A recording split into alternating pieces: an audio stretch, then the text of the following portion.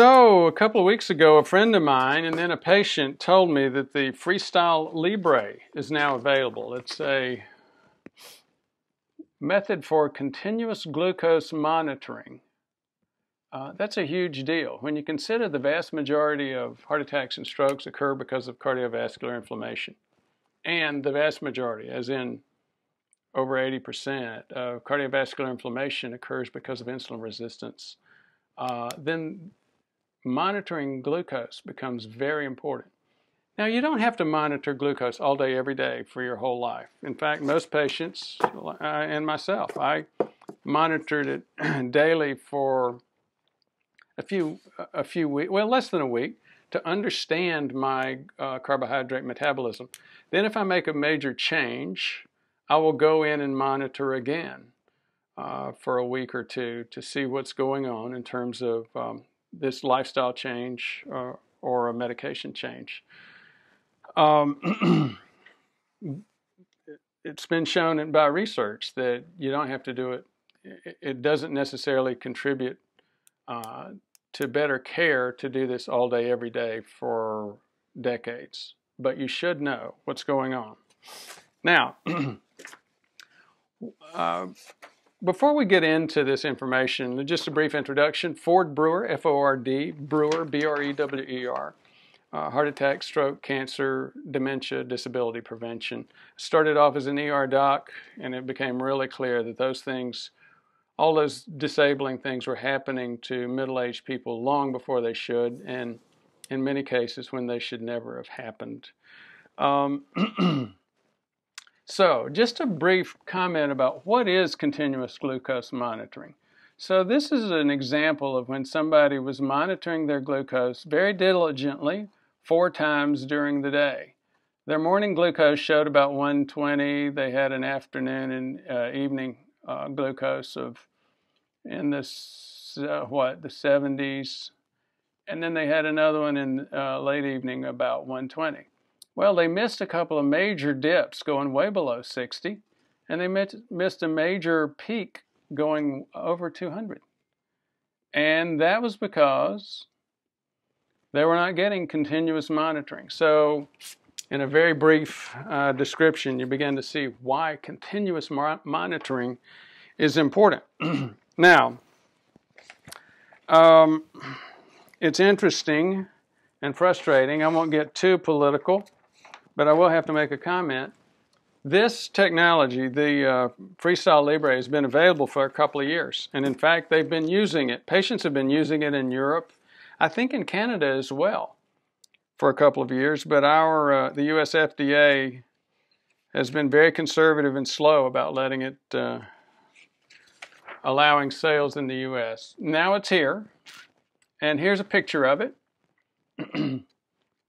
This is the sensor and uh, this is the gauge. So again, you're beginning to get a little bit of picture of uh, what's going on. Here is the sensor on the arm. And as you see, this patient is moving the, uh, the, device near the sensor on her arm. That's when you get a, uh, a read from the from the Abbott Freestyle. Now, you don't, it, it's, this is significantly different from Dexcom. And again, I'll be talking about Dexcom in just a minute to give you a little bit better comparison between the two. Now, how do you get that round sensor on your arm? And I think there are some other places you can put it as well. It needs to be on a flat place in your skin that's not going to be jostled a lot.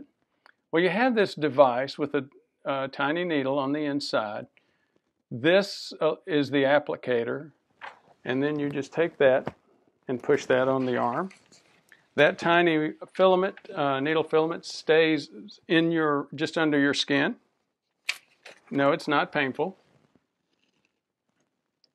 Uh, and again, when you want to get a reading, you just pass that uh, device over uh, the sensor. Here's a picture of the box and again, a little bit more information about that. Now, if you're a current Dexcom user, obviously now Abbott's coming out to compete with Dexcom and Dexcom and say, look, if you're a current user, we may be able to get you one of our devices for free.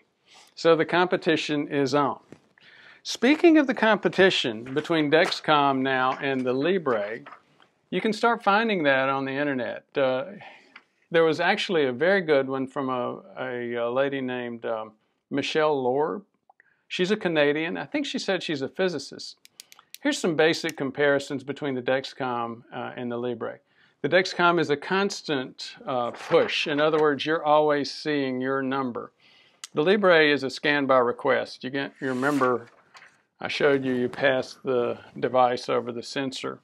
The Libre does show trends and graphs though uh, on a retrospective basis or upon request you can get the full continuous graph showing the trends. Actually, instead of just that one continuous line that I gave you in the first example, it will show you over the past few days what your tendency has been, the range that you're getting at 8 in the morning, the range of numbers that you've gotten uh, at noon, the range of numbers that you've gotten at um,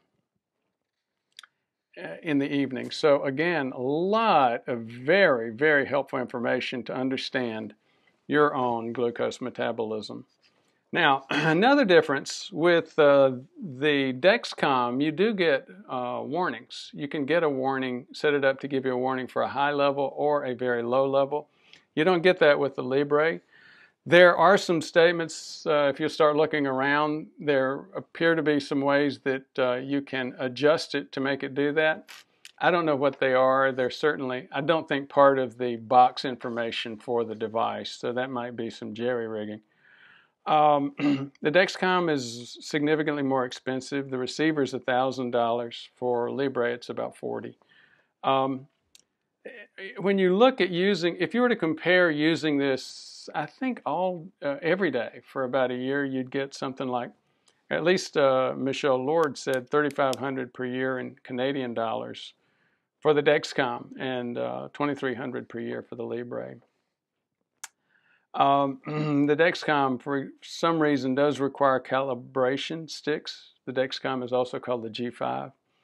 Uh, if you're going to use that for adjusting medication, and you'd have to do calibration sticks every 12 hours. You don't have to do calibration sticks. You've got the information already with the Libre. So from my perspective and from most of what I'm seeing on the internet, significant advantage for the Libre, which is not surprising. It's the new technology that's out there.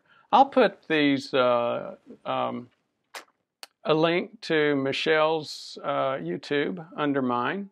There's also another one um, from a, a fellow called um, Diabetic Energetic. He's he, like most of these folks who are providing reviews on these, is English. Again, the English have had a lot better uh, exposure to this product than we have because of the FDA. Now, uh, energetic diabetics talking about a few things. He's talking about using the ketone reader, extending the battery life, um, some cost uh, containment uh, things. I'll put his a link to his YouTube as well. But again, this is great news for us. Diabetes, insulin resistance, drives the vast majority of cardiovascular inflammation. And uh, in the estimates of those of us who are, who are dealing with heart attack, stroke all day, every day, in terms of prevention, uh, at least three quarters, probably more, heart attacks and strokes are caused by cardiovascular inflammation, which is in turn caused by insulin resistance.